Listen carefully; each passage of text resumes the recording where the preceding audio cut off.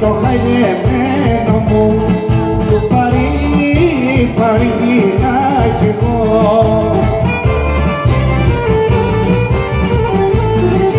Παρή, παρή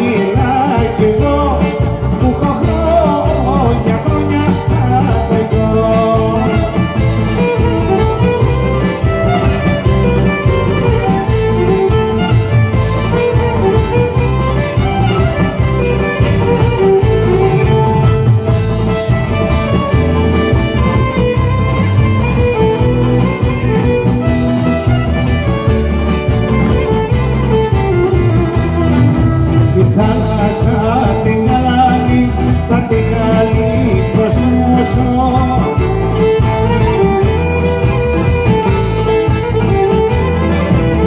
Θα την